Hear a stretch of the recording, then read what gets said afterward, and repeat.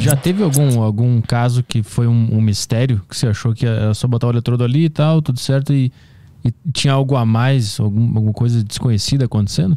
Ou é sempre muito previsível? Ah, não, sempre tem mistério, mas a gente tem que estar preparado para os mistérios. Ah, Então a gente sabe o que é mais provável, o que é menos, o que é menos, o que é menos. E quando alguma coisa acontece fora do script, você tem que conseguir entender para ajustar a sua conduta. mas teve algum que Um mistério completo, cabeça, assim? absoluto, ah, de vez em quando tem, em qualquer área vai ter. Ah. Só que a gente se cerca de, de informações para isso não acontecer, né? Teve alguma, algum caso específico que teve, teve que quebrar muito a cabeça pra entender? Hum, é, Ou tudo se- segue um padrão de equilíbrio, assim? de vez em quando você tem uma pessoa com algum tipo de sintoma que não tá batendo com aquela anatomia. Como assim? Ou então, é, é, ah, eu, tenho um, eu tenho uma dor no- na mão que não era pra eu ter, porque a mão tá boa. Uhum. E aí você trata a dor crônica e não melhora.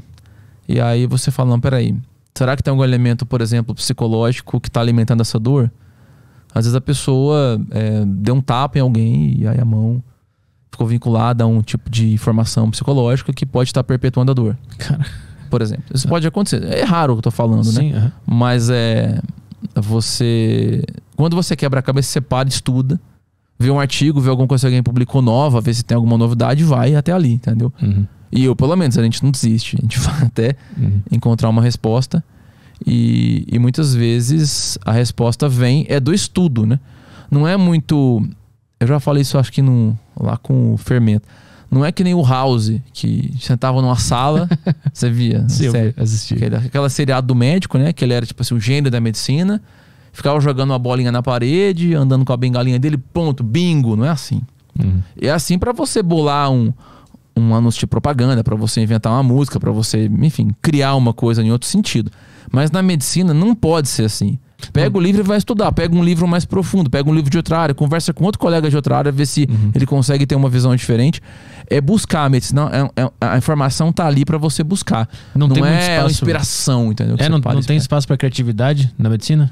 É, tem, mas você só consegue ser criativo na tela que você pinta se tiver cor pra você pintar, né? Sim. Então o médico tem que saber as cores. Não é que nem o House que pegava um pincel e vinha a cor do céu, entendeu? então, a criatividade mesmo na arte é assim, né? Você tem que ter. O que é criatividade? É um tipo de padrão de atividade cerebral que integra muitas áreas diferentes ao mesmo tempo. Uhum. E di- disti- distintas, né? antagônicas às vezes, né? Exatamente. O padrão de funcionamento do cérebro durante um ato criativo, ele é, ele é uma, um monte de áreas funcionando ao mesmo tempo, de redes funcionando ao mesmo tempo, de modo relativamente coordenado, entendeu? Você sai um pouco daquele padrãozinho, daquele automático, mas você não pode se desconectar completamente, Uhum. tá? Uhum. Então, eu tinha até uma professora de música, é, a Michelle. Eu sempre falei isso pra ela. Ela me falou um negócio maravilhoso sobre criatividade e pra mim sobre a vida. É que quando você cria, você tem que respeitar o que existe e inovar um pouquinho. Se você vier com uma coisa completamente diferente, ninguém te ouve. Uhum. E também se você vier com o mesmo que já conhecem, não tem- tudo bem, já sabemos isso aqui. Então você tem que entender bem o que existe pra conseguir tocar as pessoas que conhecem aquilo num ponto e trazer alguma coisa nova pra falar assim, olha, isso era tão óbvio, né? Uhum. Então, para o médico, você tem que entender bem o que existe, muito bem o que existe. Então, tem atividade do ponto de vista criativo que você tem que ter um cérebro pronto para ficar buscando informação e achar uma solução para aquele problema. Mas se você não tiver informação em você, amigo, É. Uhum. não tem onde você buscar. É. Então, o médico bom, ele tem que estudar muito para ter muita informação e ter experiência, conhecer casos, para ancorar essas informações bem no cérebro e ter onde buscar na hora que a coisa aperta, entendeu? Então, quando eu fui lá para fora, foi para construir a base para depois ser criativo, né? Eu fui lá ver um monte de casos para saber como funcionava, saber as variações e quando chegar aqui lidasse com uma dificuldade eu ter uma bagagem para olhar e falar não, é, deve ser isso, Uhum. né? Pra eu- é isso. Então existe a criatividade como uma ferramenta que vem depois de você ter o conhecimento. Porque a medicina ela é muito técnica, entendeu? Uhum. A parte criativa humana que é fundamental é para você acolher alguém, entender o que ela tá querendo dizer, abraçar, tentar traduzir o jeito que aquela, pessoa tá se queixando. Mas na hora de tomar decisão, tem que ser uma decisão baseada em condutas que estão fundamentadas, científicas, e você tem que ter um repertório grande dessas condutas, um conhecimento grande dessa ciência, para poder oferecer para aquela pessoa, Uhum. Humanitariamente, coisas que você sabe que funciona melhor. E, e não deixar, não deixar a pessoa na mão.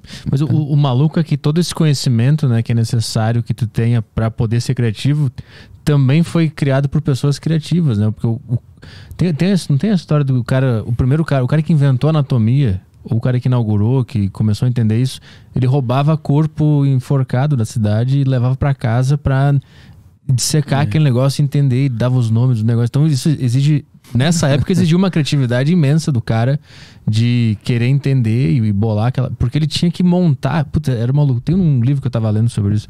Ele tinha É. que montar, porque às vezes ele pegava um corpo que não tinha tal osso e osso, osso, lá, sei lá. Aí ele pegava o do outro que tinha. E ele tinha que botar aquilo numa mesa e montar aquele esqueleto lá pra entender como cada um funcionava. Então, nessa época, o cara teve que ter uma criatividade também, né? Pra sair da caixa e bolar uma outra coisa, né? Porque ele, ele tinha que ser capaz de ver um osso e, baseado nas informações que ele já tinha, ficar buscando pra saber assim, com qual parte que isso É. bate mais. É. Então, a pessoa que só tem a informação, mas não tem essa, essa predisposição, essa dedicação de buscar criativamente, ela não vai conseguir propor novos modelos. Uhum. Mas na medicina você usa muita criatividade para propor hipóteses, propor modelos, Uhum. e aí você tem que testar esses modelos. Então o pesquisador ele tem que ser criativo para propor um modelo, para observar um fenômeno e imaginar um jeito daquilo estar funcionando. Ele tem que imaginar uma historinha que, que conta aquilo que está acontecendo. Mas aí ele, ele imaginou. Então só começou, agora ele vai ter que testar. Ele vai fazer experimentos organizados para ver se o que ele imaginou acontece. E esse experimento já é uma coisa. é, por mais que a técnica pode ser criativa, a essência dele é muito, é muito dura, né? Uhum. É colocar a prova mesmo. Então, já que isso aí funciona, então vamos, vamos testar. E ver se funciona. Uhum. Pode ser muito criativo, muito bonito, pode ser romântico, mas se não funcionou no teste, É. você não usa, entendeu? E a gente sofre muito com isso na medicina, de, de propostas criativas que ainda não foram comprovadas ou que já foram descreditadas, que ficam circulando, e as pessoas querendo usar num desespero porque estão sofrendo, e a gente tentando explicar que calma, a gente também queria usar, mas é porque já provou que não funciona, ou é perigoso usar que a gente não sabe se funciona. Então é. é o, o, você tem que ser criativo o suficiente para usar a criatividade pelo seu amor humanitário e aplicar o que funciona, e não para você tentar né, é, reinventar a roda, vendo nisso algum tipo de, de oportunismo.